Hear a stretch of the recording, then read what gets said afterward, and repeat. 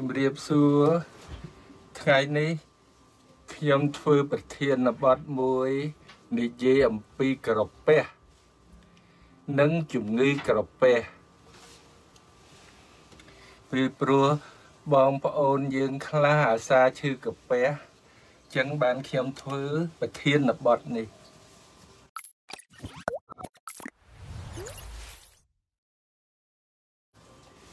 ធានបទនេះ ចង់បង្ហាញថាកាពះយើងនឹងគឺជាថង់មួយមានចំណុះ4លីត្រ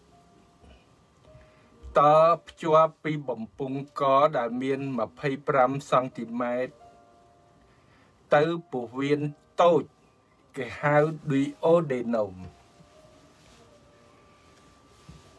ខ្ញុំអឺបរិយាយអំពីក្រពះចង់ និយាយថាថង់នេះការងារអីខ្លះកាពះហ្នឹងគេហៅថង់អឺសម្រាប់រំលាយអាហារវាមានចំណុះ4លីត្រការងារវាធំវាធ្វើការកិនដែលគេហៅមុខងារមេកានិកនិងរំលាយអាហារយើងដោយគីមី ដោយមុខងារវាគេហៅអង់ដូគ្រីននិងគីមីដើម្បីបំបែកអាហារយើងឲ្យទៅជាម៉ត់បងប្អូនដែលញ៉ាំពវៀនជ្រូកដើម្បីធ្វើទឹកត្រីផ្អែមអាហ្នឹងឃើញអាហារចេញពីកាពះទៅម៉ត់ម៉ត់សសសហ្នឹងដែលគេពាក្យពេទ្យគេហៅ shim shim shim បងប្អូនអឺ ពេទ្យទាំងអស់ត្រូវចាំពាក្យខ្លះចឹងអាហារដែលធ្លាក់ទៅវាទៅតាមបំពង់កយើង ពាក្យគេហៅដុំអាហារពាក្យបារាំងគេហៅ bol alimentaire នឹងជាពាក្យបារាំងកាពះយើងមាន3សន្ទាប់ប៉ុន្តែសន្ទាប់ក្នុងនោះដែល ការងារវាច្រើនបងប្អូនឃើញ ដែលអាសាឃើញមានកច្រាញ់កច្រាញ់កច្រាញ់ហ្នឹងគេហៅគ្រីបពាក្យបារាំងហៅគ្រីបដើម្បីអីដើម្បីវាបញ្ចេញជាតិកិនហៅអង់ស៊ីមកាពះដែលសត្វទំពីអៀងដូចយើងកាពះគោយកមកធ្វើទឹកប្រហុកហ្នឹងគឺ វាមានច្រើនជាន់ទៅទៀតហើយនឹងកាពះមួយទៀតដែលយើងស្គាល់គ្រប់គ្នា ដែលវាស៊ីប្រទាលហ្នឹងហៅកាពះកម្ពមាព្រោះណាកាលណាវាស៊ីដលងអត់ប្រកែទេវាស៊ីប្រទាលដែលយើងយកមកធ្វើថ្នាំទាស់ចឹងកាពះវាមានអាកឆាញ់កឆាញ់កឆាញ់កឆាញ់វាហ្នឹងដែលនៅក្នុងគីមី នៅក្នុងគេកាត់យកទៅឆ្លោះ សូមបងប្អូនគ្រូពេទ្យព្រោះខ្ញុំនិយាយសម្រាប់ពេទ្យខ្លះគឺវាមានសាលីលដែលបញ្ចេញជាតិអាស៊ីតនិងកោសិកាបញ្ចេញជាតិមីគូសនិងបញ្ចេញជាតិប៊ីកាបូណាតសូមបងប្អូនចាំ នៅក្នុងហ្នឹង វាមានបញ្ចេញជាតិអាស៊ីតខ្ញុំនិយាយបន្តិចដើម្បីបងប្អូនពេទ្យកូនសិស្សខ្ញុំយល់វាមាន prostaglandin វាមានអង្គទីវាមានអ៊ីស្តាមីន H2 ដែលឆ្នាំពីដើមគេហៅតាកាមេរ៉ានីទីឌីនហ្នឹងហើយបានចុះមកទៀតមានពុំណែគេហៅពុំ ពឹមអាស៊ីតដែលមានប៉ូតាស្យូមនិងអ៊ីដ្រូសែនអ៊ីដ្រូសែនជាតំណាងឲ្យអាស៊ីតកាលណាមនុស្សយើងរស់នៅ7.4លើសហ្នឹងគេហៅក្បងក្រោមហ្នឹងគេហៅអាស៊ីតអាស៊ីតខ្លាំងអាស៊ីតខ្សោយយើងបានរៀននៅគីមីហើយអញ្ចឹង បងប្អូនត្រូវយល់ថាអីទៅបំអាពុបតង់ខ្ញុំនឹងនិយាយនៅពេលដែលការព្យាបាលអញ្ចឹងទី1ខ្ញុំចង់បង្ហាញថាឈឺកាពះមិនបានដឹងឈឺកាពះម្នាក់យើងភ័យលោកគ្រូខ្ញុំកាហាយកាពះនៅខាងឆ្វេងមកកណាត់ ប្រហែលជាមួយភាគ3ខាងលើវាជាខ្យល់យើងយកដៃគោះទៅលើខ្យល់គេខេវអេកូឬក៏ថតទៅឃើញខ្យល់មកកណាត់លើចឹងបងប្អូនត្រូវយល់ថាកាពះនៅខាងឆ្វេងវាផ្ដេកគុលវាបានមកស្ដាំអញ្ចឹងវាមានខាងលើបិទហ្នឹងគេហៅកាត់យ៉ារុនខាងក្រោមវាបិទដែរហ្នឹងវាហៅពីឡ នៅពេលដែលយើងចង់អស់អាហារពីកាពះតលតែ6ម៉ោងបងប្អូនចង់ទៅឆ្លោះកាពះតលតែអត់អាហារ6ម៉ោងចឹងខ្ញុំនឹងបង្ហាញអំពីវិធីការពាររោគសញ្ញាថ្នាំព្យាបាលធ្វើម៉េចមានជំងឺអីខ្លះនៅកាពះកាពះពាក្យប៉ែតគេហៅ gastric ក៏បាន បងប្អូនដែលប្រជាជនយើងហៅ estoma ពាក្យបារាំង stomach ពាក្យអង់គ្លេសដល់ពេលពាក្យបច្ចេកទេសប៉ែតគេហៅ gastric នៅពេលចំណីអាហារធ្លាក់ចូលទៅយើងនៅក្នុងនឹងខ្លួនយើងមានអុកម៉ូនដែលបញ្ចេញតាមអាកច្រាញកច្រាញហ្នឹងគេហៅ gastrin ស្អីគេ gastrin គឺវាធ្វើឲ្យ pepsinogen ទៅជា pepsin កិនជាតិសាច់ចឹងហើយដល់ពេលដែលយើងញ៉ាំសាច់តាពីតាពីតាពីតាពីទៅញ៉ាំត្រីញ៉ាំសាច់គោញ៉ាំសាច់ជ្រូកសាច់មាន់តាពីអញ្ចឹងបានតាពីឲ្យម៉ត់បងប្អូនត្រូវចាំជួយកាពះយើងតាពីឲ្យយូរបើយើងមានថ្មិញ នៅពេលវាម៉ត់ទៅអានោះអាទឹកប៉េបស៊ីហ្នឹងមកកិនមកជន់ហើយដើម្បីទៅដល់ពវៀនតូចវាកិនទៀតទឹកមាត់យើងមានជាតិកិនមួយគេហៅអាមីឡាយើងញ៉ាំបាយញ៉ាំតឡូងញ៉ាំម្សៅគេហៅអាមីដុងហ្នឹងក៏វាកិនកិនចឹងខំតពីតពីឲ្យវាផ្អែមទឹកមាត់យើង1លីត្រកន្លះកាពះយើងបញ្ចេញ1លីត្រកន្លះទៀត ចឹងឲ្យទឹកចេញហើយទៅដល់វាបឺតវិញចឹងយើងកិនជាតិសាច់ទៅជា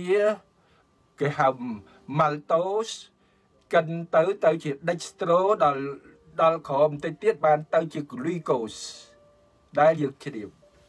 មួយទៀតវាបញ្ចេញជាតិ lipa ដែលកិនជាតិខ្លាញ់ ឲ្យទៅទៅទៅទៅដល់បានជាអាស៊ីតក្រា បានវាចូលទៅជ្រាបចូលក្នុងខ្លួនយើងនៅកាពះមានជាតិមួយគេហៅ factor anthracite បងប្អូនខ្លះខ្វះអានឹងខ្វះវីតាមីន B2 កាលណាខ្វះវីតាមីន B2 ឲ្យស្លាំង ដើម្បីឲ្យគ្រាប់ឈាមយើងបានយើងត្រូវមាន globin ត្រូវមានវីតាមីន B2 ត្រូវមានជាតិដែកត្រូវមាន acid folic ចឹងកាពះវាមានតួនាទីវាគីមី គឺបញ្ចេញជាតិ acid chlorhydric អាស៊ីតក្លរីដ្រិកបងប្អូនត្រូវចាំអាស៊ីតវាមានអាស៊ីតអាសេតិកអាស៊ីតស៊ុលហ្វេរិក អាស៊ីតច្រើនណាស់ប៉ុន្តែនៅក្នុងនេះតំណាងឲ្យអាស៊ីតគឺហាស់អ៊ីដ្រូសែនណានារៀនគីមីព្រោះខ្ញុំបញ្ចូលបន្តិចបន្តិចបងប្អូនជាប្រជាជនសូមអភ័យទោសព្រោះកន្លែងខ្លះចង់ឲ្យគ្រូពេទ្យកូនសិស្សហ្នឹងយល់ដែរចឹងអាស៊ីតក្លូរីដ្រិកនឹងវា pH វាតែ1ទៅ3គេហៅ pH អាស៊ីតក្លូរីត្រិក ដល់ពេលកិនអីបានហើយបានវាមកប៉ាសមួយគូសព្រោះកាពះយើងបញ្ចេញអាស៊ីតផងវាបញ្ចេញជាតិមួយការពារកុំឲ្យយើងអាលៀកខ្ញុំនឹងនិយាយបន្តិចទៀតនៅពេលអីបានយើងឈឺកាពះមួយទៀតវាបញ្ចេញប៊ីកាបូណាតអញ្ចឹងដល់ប៊ីកាបូណាតយើងកិនអីហើយទៅ យើងកិនអីទៅដល់ពវៀនតូចវាប៉ះនឹងអាស៊ីតក្លូដេត្រិក ទៅជាអំបិលនិងអាស៊ីតកាបូនិកអាស៊ីតកាបូនិកคล้ายទៅជា gas carbonic និងទឹកបញ្ចេញតាមខ្យល់បញ្ចេញតាមទឹកនោមយើងរួចខ្លួនអញ្ចឹងយើងភ័យម្នាក់យើងថាលោកគ្រូខ្ញុំបែបឈឺកាពះហើយយើងគិតថា ព្រូនក៏អាចមានរោគសញ្ញាឆ្អល់ពោះអីដូចគ្នាឈឺពោះមួយទៀតដែលខ្ញុំបានធ្វើឡាយហើយបើមនុស្សចាស់គឺរលួយសាច់ដុំបេះដូងហើយចុកមុនដំបូងយើងអត់ចាប់អារម្មណ៍គេហៅអង់ស៊ីនដេប៉ូត្រីនស្មានតាកាពះកាពះព្រោះវានៅខាងឆ្វេងខាងឆ្វេងខាងលើដូចគ្នាអញ្ចឹងយើងត្រូវមើលព្រូន យើងត្រូវដឹងថាមានកប៉ែងមានលំពេងនៅខាងក្រោមមានបេះដូងនៅខាងលើ មានពវៀនតូចគេហៅឌីអូដេណូម មានព្រូនយើងត្រូវរយអស់ចាំចោតថាយើងឈឺកាពះរោគសញ្ញានៃកាពះ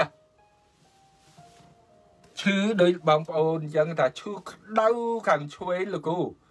ចេះឈឺខាងឆ្វេងចិត្តចង់ដង្ហើមនឹងស្អីហ្នឹង អ្នកជំងឺចេះតែប្រាប់ថាខ្ញុំហើយភើហើយជូ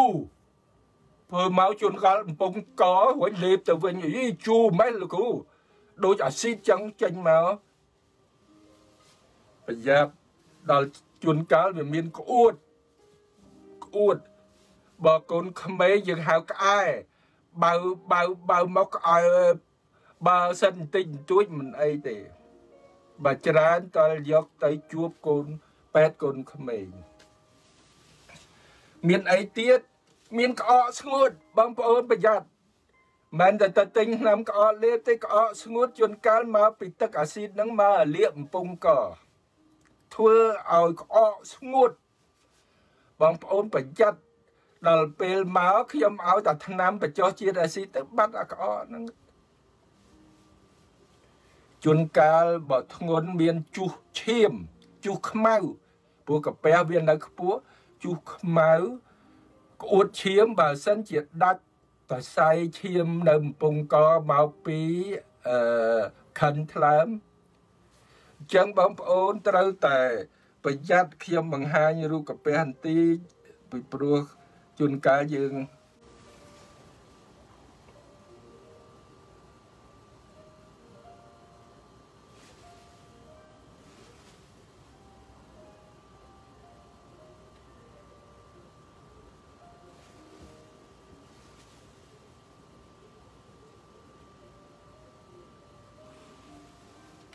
ចឹងយើងមានឆ្អល់មានក្អួត មានចង់ចង្អើពាក្យគេហៅបើអលៀកមកលើហ្នឹងគេហៅ pyrosis បងប្អូនគ្រូប៉ែត្រូវចាំពាក្យខ្លះ pyrosis ដល់អ្នកផឹកស្រាអឺអឺហ្នឹងគេហៅ pituit matinal ព្រលឹមឡើងពេលដោះថ្មិញអឺហ្នឹងគឺសញ្ញាគេហៅ gastric alcoholic ចឹងមានសញ្ញាអីទៀតគឺ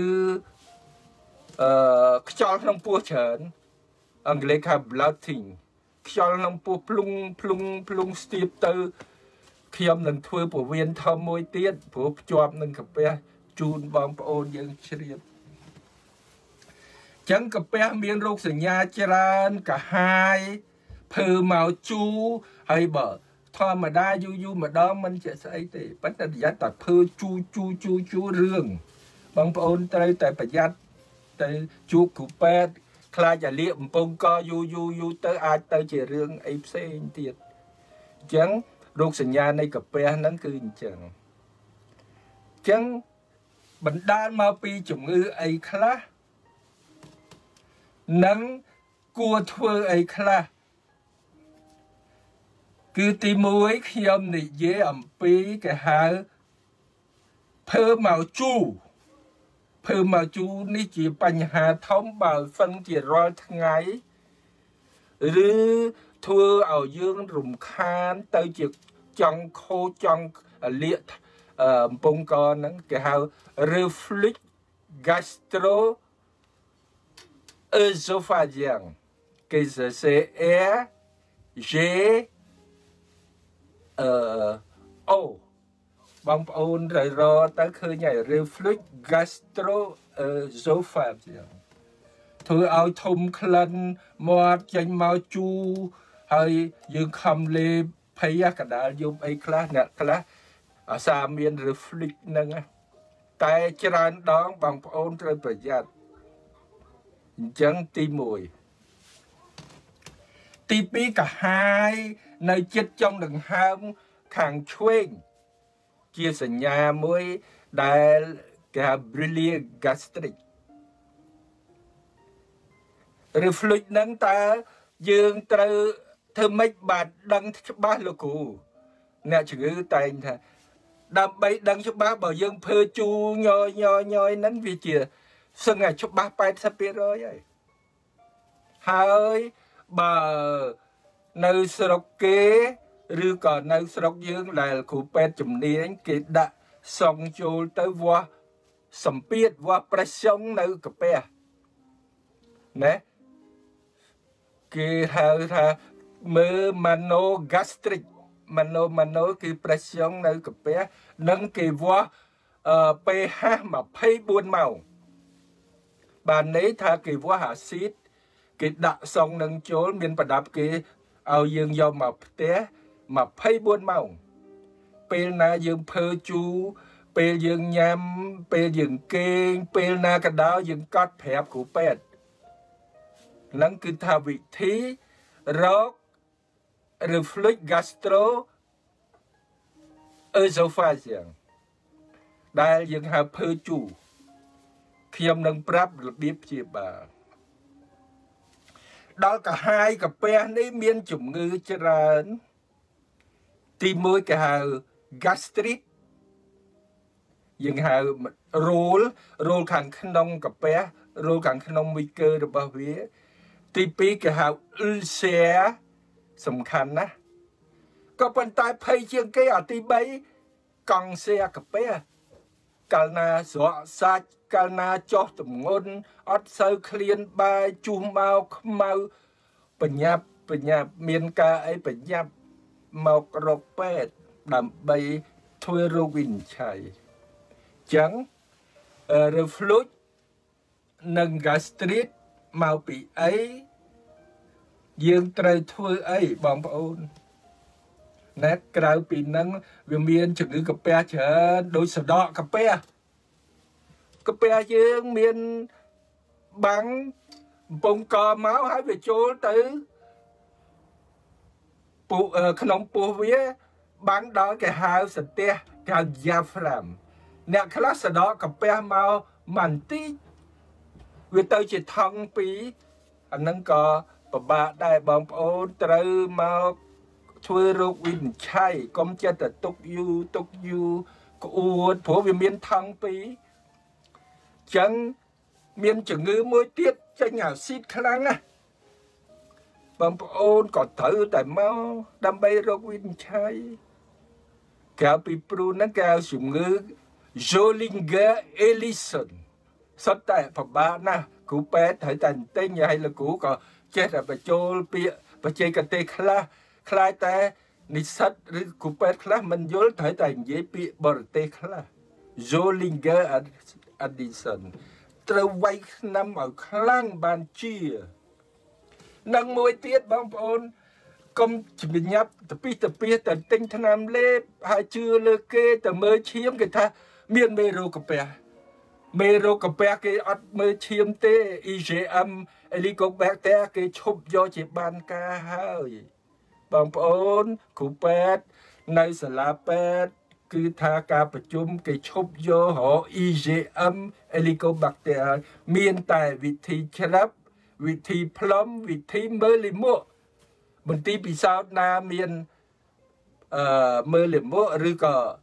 កន្លែងណា clinic ណាមានផ្លុំបងប្អូនទៅបានច្បាស់ ហើយចុងក្រោយនោះដើម្បីធ្វើរោគវិនិច្ឆ័យច្បាស់គេធ្វើ endoscopy កាពះយើងហៅហុកតយោហុកតយោបងប្អូនកុំភ័យពីព្រោះតយោឥឡូវទុនអត់ដោយកាលជំនាន់ខ្ញុំមាននេះគេហៅសង rigid ឥឡូវ flexib ហុកចូលទៅមានកៅគេឆ្លោះហើយបងប្អូនណាដែលបកែទ្រាំគេអត់ដាក់ថ្នាំផងប៉ុន្តែខ្លះថាអេលោកគ្រូដាក់ថ្នាំថ្នាំគេក៏ ក៏មានគ្រូពេទ្យគេទៅដាក់ថ្នាំដែរបងប្អូនកំភៃហើយក៏មិនជាស្លាប់អីយូរតែ10 15នាទីហ្នឹងហើយបើមើលមើលពីពវៀនធំទៀតអាហ្នឹងយូរបន្តិចក៏ប៉ុន្តែមិនអីទេបងប្អូនកំភៃគេត្រូវយកលមួកទៅមើលគេត្រូវមើលឈាមកែលោយើងខ្វះឈាមអញ្ចឹងរោគវិនិច្ឆ័យវាមានច្រើនហើយបើវាស៊ីដាច់ទៅក្នុង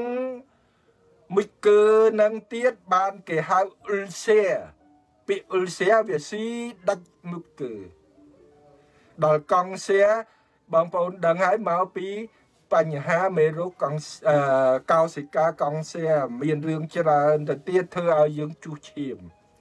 ចឹងហើយបងប្អូនត្រូវសង្កេតលាមកមិនថាយើងអីទេបងមើលបងប្អូនមើលទៅលាមកយើងលឿង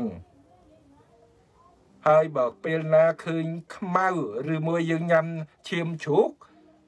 ឬមួយយើងអត់ញ៉ាំអីទាំងអស់លមកយើងខ្មៅយើងមានបញ្ហាឈាមហើយបើគេទៅមើលមានក្របឈាមទៀតអាហ្នឹងកង់សៀពវៀនធំហើយបងប្អូនប្រយ័ត្នប្រយ័ត្នខ្ញុំបានធ្វើឡាយហើយអំពីក្របឈាមនៅក្នុងលាមកឥឡូវបញ្ហាដោះស្រាយ ទី1ក្អែមកទឹកអាស៊ីតសំខាន់ណាស់បងប្អូន ទី1អេរិយាបថអេរិយាបថបានន័យថាទី1បាទអាណត្តិកាពះសុំ3ទៅ2ឲ្យយូរខ្ញុំបានធ្វើឡាយឲ្យទៅ2ហើយតលតលឲ្យឡើងខ្ទេចចាំលេប នៅតាពីតាពីតាពីញញខាងស្វែងម្ដង ស្ដាំម្ដងហើយវាចេញទឹកមាត់ផងវាកិនផងវាលាយអញ្ចឹងទៅយើងបានលេបចូលកាពះមួយតាពីយូរទី2ញ៉ាំបាយកុំឲ្យឆ្អែតពេកអញ្ចឹងអាហារយើង3ពេលព្រឹកថ្ងៃត្រង់ល្ងាចព្រឹកថ្ងៃត្រង់ល្ងាចត្រូវញ៉ាំឲ្យទៀងទាត់ពីព្រោះ នៅពេលហ្នឹងហើយដែលវាចេញទឹកអាស៊ីតមកទី3ក៏មក stress ខឹងខឹងច្រើនហ្នឹងវាបញ្ចេញជាតិអាស៊ីតមកច្រើនអញ្ចឹងញ៉ាំបាយឲ្យទៀងពេលល្មមឲ្យមានគ្រប់គ្រាន់ដើម្បីចិញ្ចឹមជីវិតយើងអឺកុំឲ្យ stress ញ៉ាំមានបន្លែខ្លះព្រោះបន្លែជាជាតិក្បង វាកាត់អាស៊ីតខ្លះនៅពេលយើងញ៉ាំទៅយើងមិនអឺអាលៀកកាពះយើងໄວទៀតកុំឆ្លៀកខោរឹតខ្លាំងពេកដាក់ខ្សែក្រវ៉ាត់ខ្លាំងពេកយើងទៅញ៉ាំបាយវារឹត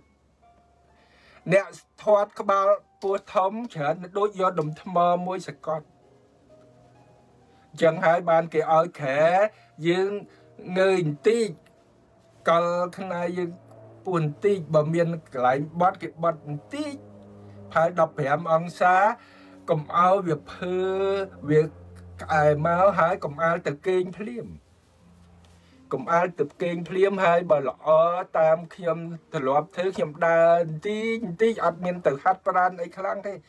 ដើរលេងលេងលេងទៅអាខ្យល់ហ្នឹងវាអឺមកលើ អាខ្លះក៏ធ្វើឲ្យយើងផោមទៅធ្វើឲ្យរំលាយអាហារយើងល្អបើអញ្ចឹងផឹកបលឹមយើងពិសាអីបន្តិចទៅថ្ងៃត្រង់យើងល្មមទៅហើយអង្គុយលេងយូរបន្តិចចាំទៅគេងថ្ងៃហើយល្ងាចអ្នកខ្លះម៉ោង5ម៉ោង6អីសម្រាប់យើងគេងវាបានយូរបន្តិចណែវាគ្រាន់ផ្ដេកខ្លួនកុំតែផ្លែតឡើងយើងទៅគេងមើលអឺ iPhone មើលអីមើលអីអាហ្នឹងឈឺកាពេអញ្ចឹងទី1គឺអេរិយាបថនឹងការណែនាំរបស់ខ្ញុំហ្នឹងហើយទី2គេប្រើថ្នាំពីដើមលោកដែលខ្ញុំរៀនពេទ្យហ្នឹងគេអត់មានស្អីអីគោឆ្លោះអីដូចឥឡូវផងគេឲ្យផឹកម្សៅហើយមិនច្បាស់អីទេគេហៅ TCD តលគ្រូពេទ្យចាស់ចាស់បានស្គាល់ transit gastro duodenal បងប្អូនដែលឮពាក្យហ្នឹងបែបមិនដែលឮផងអាហ្នឹងគេយក film មកមើលហើយបើខាងក្រោមគេថៅឡាវម៉ងបារីតេបាញ់ម្សៅចូលតាមគូតយើងអូយពិបាកណាស់សិតតែពិបាកឥឡូវរបៀបបរោគវិនិច្ឆ័យស្រួលអត់ដូចមុនចឹងយើងអឺធ្វើអេរិយាបថ ហើយបើទៅមិនរួចទេទៅគ្រូពេទ្យពីដើមគេឲ្យតាកាម៉ែតឬក៏រ៉ានីទីឌីនហើយបើក្អួតចង្អោច្រើនគេឲ្យដុំពេរីដនដែលលក់នៅទីផ្សារម៉ូទីលយមបងប្អូនចាំហើយបើឆ្នាំគេមកពីណាក៏ដោយបងប្អូនមើលតែពីក្រោមឃើញដុំពេរីដនអានឹងឆ្នាំកំបៅក្អួតចង្អោហើយរ៉ានីទីឌីន តាកាម៉ែតស៊ីមេទីឌីនតាកាម៉ែតហើយរ៉ានីទីឌីនអាសង្តាក៏ប៉ុន្តែពួកថ្នាំនេះវាឲ្យអឺបង្កើនគេហៅឲ្យរីកដោះព្រោះព្រោះវាអេកទៅស៊ីតេក៏ហៅអឺជាតិមួយឲ្យឡើងដោះប្រយ័ត្នកាលពីដើមប៉ុន្តែឥឡូវគេឈប់ប្រើឲ្យបងប្អូនឈប់ប្រើចេញ ចុងក្រោយនេះជាឆ្នាំដែលពិសេសសំណាងហើយដែលអ្នកប្រាជ្ញគេរកឃើញគេហៅ inhibitor de pump a proton ចេញដំបងបងប្អូនដឹងប្រមាណទេមកគ្រាប់10 20ដុល្លារក្រោយមកបានថោកទៅគេហៅ Mopral គឺក្រោយមកគេមាន Omeprazole ណា មកប្រើថ្លៃឥឡូវនឹងថោកគេនៅស្រុកយើងឲ្យតែសតបងប្អូនប្រយ័ត្នម្សៅមីតែទិញត្រូវរឡាបូណាដែលត្រឹមត្រូវបើយើងក្រយើងទិញបោះប្រទេសជិតយើងប្រទេសខ្មែរក៏មានធ្វើអឺឥណ្ឌាថៃឥណ្ឌូនេស៊ីអីណែមកប្រើគេហៅអូមេប្រាសិលប៉ង់តូប្រាសិលណែអឺឡង់សូប្រាសិលឡង់សូ ហើយហើយមានអាប៉ារីយ៉េតមានច្រើនណាស់បងប្អូនគ្រូពេទ្យចង់ផ្លាស់មួយណាក៏បានដែរឲ្យតែមើលតាមសមត្ថភាពប្រជាជនយើងដែលឈឺជាថ្នាំដែលល្អហើយដើម្បីសម្រាប់អេលីកូបាក់តេកុំផ្ដេសផ្ដាស់ទៀតខ្លាយវាស្គាល់អាមេរោគហ្នឹងកាលពីដើមមានគេធ្វើលក់ពីលោបាក់ពីលោគីត ក៏ប៉ុន្តែឥឡូវចាប់មាន resistance ឲ្យបងប្អូនថ្នាំវាដែលខ្ញុំប្រើគេប្រើដុប EPP អបមាធម្មតាយើងថាប្រើ20យើងប្រើដល់40 Clarithromycin ហើយនឹង Tinidazole បងប្អូនចាំរូបមន្ត3ហ្នឹងហើយតាមដានមើលកុំឲ្យចេះតែប្រើគេប្រើអាណាទី1អាណាទី2រយៈពេលប្រហែលខែ ហូសិតតែមានរបៀបគេបងប្អូនគ្រូពេទ្យដែលមិនមែនជាឯកទេស gastroentero នេះត្រូវស្ដាប់ត្រូវពិចារណា ពីព្រោះមេរោគកាពះហ្នឹងថ្ងៃក្រោយឲ្យយើងមិនជាកាពះអាចឲ្យវិវត្តទៅអ៊ុលសៀអាចវិវត្តទៅកង់សៀអញ្ចឹងយើងត្រូវតែមើលហើយយើងឆែកមើលបើខាន់ថ្លើមគេមើល varis esophageal ខ្លាចតើវាដាច់ទៅឈាមតាំងកថាចឹងគេចងគេចងបងប្អូនត្រូវតែចាំចឹងគឺធ្វើម៉េចគេត្រូវតែឲ្យគ្រូពេទ្យពិនិត្យអង់ដូស្កូពីមិនអត់ថ្លៃទេបងប្អូន យើងហៅអាហុកទយោម្នាក់ម្នាក់លើទៅហុកទយោខ្លាចតែមិនទេជា ជាមធ្យោបាយសម្រាប់ធ្វើរោគវិនិច្ឆ័យណែគ្រាន់តែដំបូងបង្អស់បងប្អូនត្រូវគិតមុនដំបូងចំណីអាហារចំណីអាហារដែលអាចឲ្យធ្វើឈឺកាពះគឺបារីនិងស្រាឯអាទៀតទៀតគេមិនទាន់ច្បាស់ទេបងប្អូនកុំជាលឺគេថាដូចជាកាហ្វេអត់ទាន់ច្បាស់ទេអ្នក ប្រាជ្ញសាស្ត្រាចារ្យស្រុកគេគេថាអត់ទាន់ច្បាស់ទេ ច្បាស់តែស្រាជក់បារីនិងចំណីដែលសម្បូរជាតិខ្លាញ់ដូចជាពីតហ្សាដូចជាសាច់ក្រកដែលធ្វើឲ្យអាស៊ីតនិងវាសម្បូរចឹងត្រូវតែខំដើម្បីកុំឲ្យឈឺហើយតែឈឺទៅធ្លាយកាពះ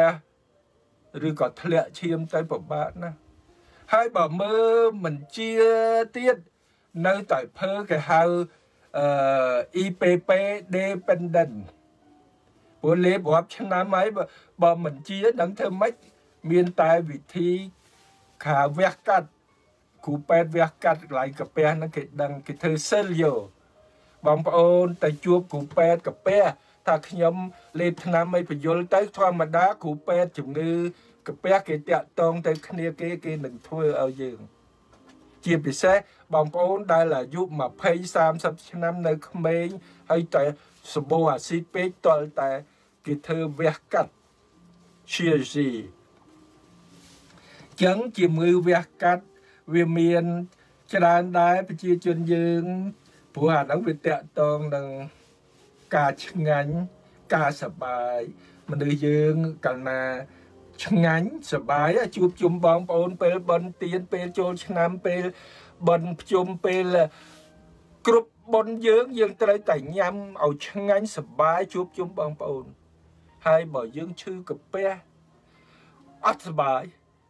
ចឹងហើយបានខ្ញុំលើកប្រធានបទមកថ្ងៃនេះគឺជាជំងឺកាពះហ្នឹងវាធំធំប៉ុណ្ណឹងគឺថាភើជាតិអាស៊ីតលាកកាពះដោយស្រា គេហៅអឺ gastric alcoholic លាកកាពះរ៉ាំរ៉ៃគេហៅ gastric chronic កន្លែងខ្លះគ្រាន់ជាណាណាបើយើងមិនតមិនអីមិនធ្វើតាមការណែនាំទេគ្រាន់ជាហើយតែគ្រាន់ជាអត់សបាយរហូតដល់អ៊ុលសៀវាតបៅរហូតដល់កង់សៀខ្សិតតែតបៅកន្លែងខ្លះពិសេសដូចជាអេកនីដែលកាពះចេញមកសដកមកលើ syndrome Zollinger Ellison សិតតែពិបាកបងប្អូនកុំដល់ទៅផ្សំថ្នាំផ្សំថ្នាំកន្លែងខ្លះតម្លាក់ព្រូនអាហារល្អយើងធ្វើដោយការណែនាំរបស់ខ្ញុំទៅយើងនឹងជាយើងនឹងសប្បាយជួបជុំគ្រួសារអាយុយឺនយូរអញ្ចឹងការឡាយរបស់ខ្ញុំជម្រាបចំពោះជំងឺកាពះមានតែប៉ុណ្ណេះទេសូមជម្រាបលា thank you